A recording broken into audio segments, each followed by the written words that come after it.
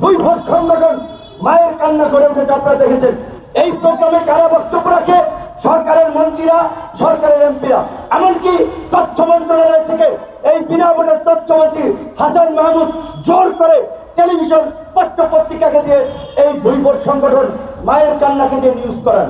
মায়ের কান্না মানে এরা এতটা অপদার্থ, এতটা মেধাহীন একটা নতুন নামও দিতে পারে না। অন্যরা কুমার শিকার পরিবারগুলো নাম দিয়েছে মায়ের দাস সেই নাম চুরি করে কপি করে তারা নাম দিয়েছে মায়ের কান্না। কি ধরনের পাটকারি শুনেছি আজকে আওয়ামী লীগের বিজয় র্যালি উপলক্ষে সারা ঢাকা শহর তারা এক প্রকারের দখলে নিয়েছে। আজকে আমাদের নেতা কর্মীরাও রাস্তায় আসার পথে বিভিন্ন জায়গায় বাধা বিঘ্নের সম্মুখীন হয়েছে। আপনারা দেখেছেন যে গত দশই ডিসেম্বর বিএনপির সমাবেশকে কেন্দ্র করে এই সরকার কতটা বেপরোয়া হয়েছে? পাড়া মহল্লায় ডাকাতদের মতো, গুন্ডা মাস্তানদের মতো, পাড়ার বখাটেদের মতো তারা আপনার টহল দিয়েছে, যেন বিরোধী দলের নেতা কর্মীরা সভা সমাবেশে যোগ দিতে না পারে। এমনকি তারা মানুষের ব্যক্তিগত নিরাপত্তা লঙ্ঘন করে তাদের মোবাইল গ্যালারি পর্যন্ত তারা ঢুকেছে। তো আমরা আজকে জনগণকে সতর্ক করে বলে দিতে চাই আজকে আওয়ামী লীগ এবং তার উৎকৃষ্ট ভোগীরা অবৈধভাবে ক্ষমতা দখল করার জন্য যেভাবে বেপরোয়া উন্মাদে পরিণত হয়েছে, আজকে জনগণ যদি এদেরকে প্রতিহত করতে না পারে, এদের বিরুদ্ধে প্রতিরোধ করে তুলতে না পারে, তাহলে কারও বেডরুমও কিন্তু সেফ থাকবে না। সাংবাদিক দম্পতি সাগর রনিকে বেডরুমে ঢুকে হত্যা করেছে। সেই হত্যাকাণ্ডের প্রতিবেদন প্রায় তিরানব্বই বার পর্যন্ত পিছিয়েছে। এখন পর্যন্ত সাংবাদিক দাম্পত্য সাগর রুনি হত্যাকাণ্ডের প্রতিবেদন দেয় নাই। বুয়েটের মেধাবী ছাত্র মার্টিন হত্যাকাণ্ড নিয়ে আপনারা দেখেছেন কয়েকদিন ধরে কি ধরনের নাটক তারা করছে।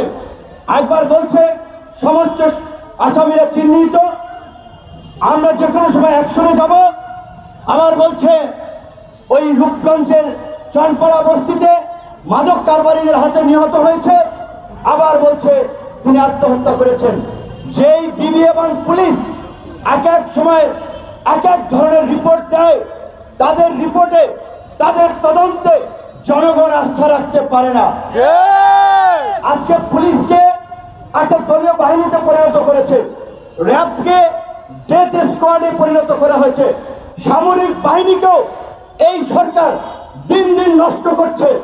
সামরিক বাহিনীর মেরুদণ্ড তো সেই দু হাজার নয় সালেই বিডিআর বিদ্রোহের নামে মেধাবী দক্ষ চৌকস অফিসারদেরকে হত্যা করে সামরিক বাহিনীকে সেদিন পঙ্গু করে দেওয়া হয়েছে। তাই আজকে কোন প্রতিষ্ঠানের কথা বলবেন? কিসের স্বাধীনতার কথা বলবেন? আমরা কি কার্যত আজকে স্বাধীনতা পেয়েছি? বিচার বিভাগের কথা যদি বলেন একটা দেশের ইতিহাসে বাংলাদেশের ইতিহাসের একান্ন বছরে এই ধরনের ঘটনা ঘটে নাই। একজন প্রধান বিচারপতিকে গোয়েন্দা সংস্থার সেকেন্ড ক্লাস অফিসাররা ঘাড় ধাক্কা দিয়ে গাড়িতে করে প্লেনে উঠিয়ে দেশটাকে বাধ্য করে। এই রকমের নৈরাজ্য এই দেশে ঘটছে। কাদের আমলে ঘটছে? এই কথিত মুক্তিযুদ্ধের চেতনাধারী সরকার আওয়ামী লীগ সরকারের আমলে যারা গত তেরো বছরে বিনা ভোটে ভারতের সহযোগিতায় এদেশের মানুষের উপরে দমন পীড়ন চালিয়ে এদেশের স্বাধীনতাকে ভারতের হাতে জিম্মি করে দিয়েছে।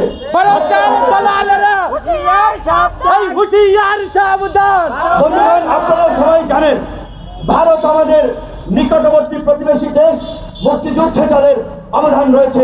মুক্তিযুদ্ধে তারা প্রকৃত অর্থে বাংলাদেশের মানুষের জন্য সহযোগিতা করেছে, নাকি তাদের চিরশত্রু পাকিস্তানকে ঘায়ল করার জন্য সহযোগিতা করেছে? সেই আলোচনাটি আজকে অত্যন্ত প্রাসঙ্গিক। আজকে যেই ভারত মুক্তিযুদ্ধের সময় যদি আমাদেরকে সহযোগিতা করে থাকে, সেই ভারত আজকে কীভাবে নির্বিচারে গুলি করে সীমান্তে আমার দেশের মানুষ মারছে? আজকে ভারত যদি বাংলাদেশের প্রকৃত স্বাধীনতার জন্য সহযোগিতা করে থাকে, নাগরিকদের মর্যাদা প্রতিষ্ঠা করার জন্য সহযোগিতা করে থাকে। সেই ভারত কীভাবে চোদ্দ সালে আওয়ামী লীগকে বিনা ভোটে ক্ষমতায়নের জন্য জাতীয় পার্টিকে জোর করে নির্বাচনে নেয়। ভারত যদি আমার দেশের মঙ্গল চায়, ভারত যদি বাংলাদেশের বন্ধু হয়, ভারত কীভাবে আঠারো সালেও আরেকটি বিতর্কিত নির্বাচন করার জন্য শেখ হাসিনার পাশে থাকে, আমি আজকে বাংলাদেশের একান্ন বছরে মুক্তিযুদ্ধের সময় সহযোগী বন্ধু হিসেবে ভারতের কাছে আমরা এই প্রশ্ন রাখতে চাই। তরুণ প্রজন্ম, ভারতের কাছ থেকে এই জবাব চাই। আজকে এই সরকার একদিকে মুক্তিযুদ্ধের কথা বলছে। অথচ টানা তেরো বছর ক্ষমতায় থেকেও একটা নির্ভুল শহীদদের তালিকা এই সরকার তৈরি করতে পারে নাই। টানা তেরো বছর ক্ষমতায় থাকার পরেও মুক্তিযোদ্ধাদের একটা নির্ভুল তালিকা এই সরকার তৈরি করতে পারে নাই। আমরা বলেছি, এই সরকারের হাতে দেশ এবং বিদেশিরা, বাংলাদেশে কর্মরত বিদেশিরাও আজকে নিরাপদ নয়। আপনারা দেখেছেন, এতদিন এই দেশে গুম, খুন, হামলা, মামলার শিকার হয়েছে ভিন্ন মতবান বিরোধী দলের রাজনীতিরা। গত কয়েকদিন আগেই শাহিনবাগে গুম হওয়া একজন ব্যক্তির পরিবারের সাথে দেখা করতে গিয়ে মার্কিন রাষ্ট্রদূত পিটার হাস হামলার শিকার হতে যাচ্ছিলেন। কাদের দ্বারা?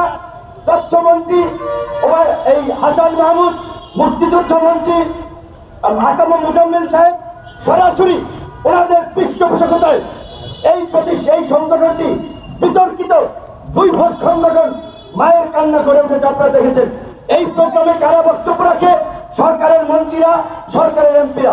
এমনকি তথ্য মন্ত্রণালয় থেকে এই বিনা ভোটের তথ্যমন্ত্রী হাসান মাহমুদ জোর করে টেলিভিশন পত্র পত্রিকাকে দিয়ে এই দুই সংগঠন মায়ের কান্নাকে দিয়ে নিউজ করান। মায়ের কান্না মানে এরা এতটা অপদার্থ, এতটা মেধাহীন একটা নতুন নামও দিতে পারে না। অন্যরা কুমার শিকার পরিবারগুলো নাম দিয়েছে মায়ের দাস। সেই নাম চুরি করে, কপি করে তারা নাম দিয়েছে মায়ের কান্না। কি ধরনের পাটকারি আপনারা মায়ের কান্না করেছেন ভালো। আপনারা গুম হাওয়াদের বিচার চান কি? আপনাদের প্রেক্ষাপটটা কি? সাতাত্তর সালে কুরু করার জন্য একদল সামরিক বাহিনীর লোকজন তাদেরকে বিচার করা হয়েছে সামরিক আইনে। সেটি যদি অন্যায় হয়ে থাকে, কাউকে যদি গুম করা হয়ে থাকে, ক্ষমতা আছে সরকার তেরো বছরে। প্রধানমন্ত্রী দপ্তর ঘেরাও করবেন, বঙ্গভবন ঘেরাও করবেন কিন্তু বিচার আসার কাছে আপনাদের কি?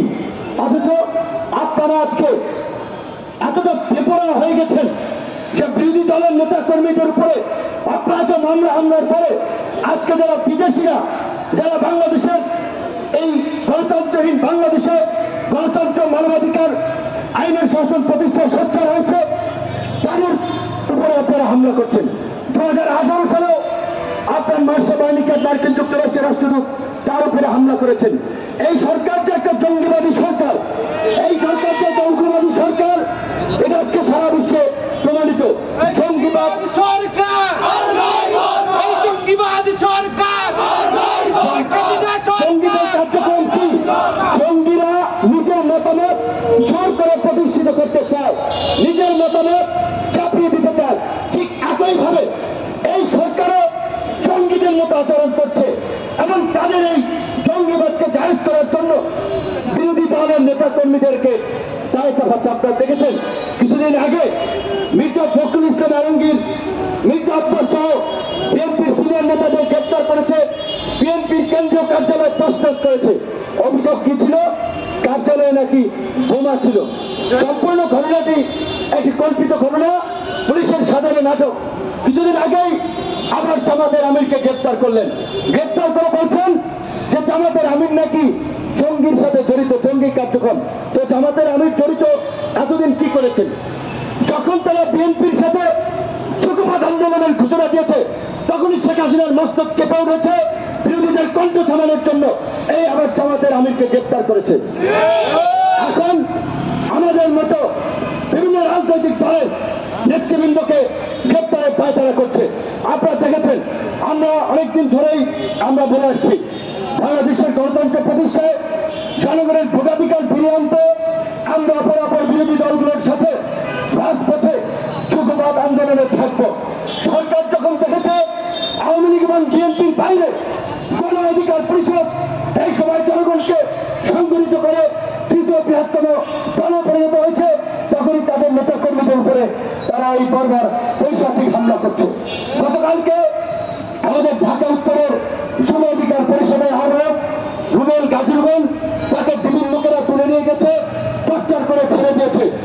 এমন গতকালকে একই দিনে এই বিজয় দিবসে আপনারা দেখেছেন পাবনার বেড়া উপজেলায় মেয়রের নেতৃত্বে আমাদের নেতা কর্মীদের উপরে হামলা হয়েছে। মাগুরাতে প্রধানমন্ত্রীর সহকারী ছিলেন, এই কুখ্যাত পাপিয়ার সাথে যার যোগাযোগ ছিল পত্র পত্রিকা এসেছে। পাপিয়ার কাস্টমার সেই সাইফুজ্জামান শেখরের গুন্ডা বান্দারা আমাদের নেতা কর্মীদেরকে হামলা করে রক্তাক্ত করেছে।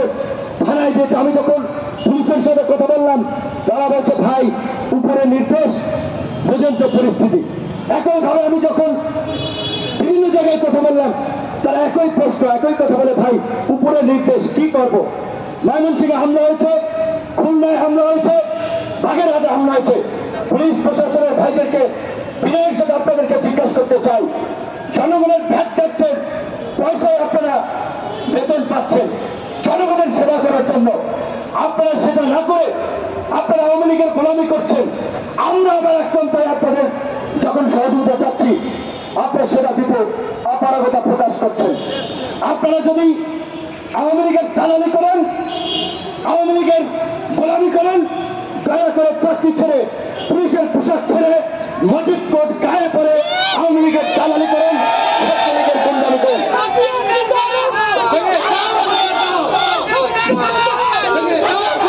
বন্ধুগণ আজকে আপনাদেরকে আত্মবিশ্বাস বুঝতে হবে আমাদের এই লড়াই কিন্তু একটা বহুমুখী লড়াই। আজকে প্রশাসনের মধ্যে ছাত্রলীগ যুবলীগের গুন্ডাদেরকে প্রতিষ্ঠিত করা হয়েছে। তাদেরকে প্রমোশন দিয়ে উচ্চ পদে অধিষ্ঠিত করা হয়েছে। এই গুন্ডাবস্থান দুর্বৃত্তরা আজকে বেবড় আচরণ করছে। আমরা প্রশাসনের মধ্যে থাকা ছাত্রলীগ যুবলীগের গুন্ডাবস্থানদেরকে হুঁশিয়ারি করে দিয়ে বলতে চাই, যদি চাকরি করেন, জনগণের সেবা করেন। জনগণের যদি বিরুদ্ধে দাঁড়ান আপনাদের পরিণত কিন্তু ভালো হবে না। প্রশাসনের ভাইদেরকে আরও একটা কথা বলব। আপনার সন্তানের মুখের দিকে তাকাবেন আপনার স্ত্রীর মুখের দিকে তাকাবেন আপনারা জনগণের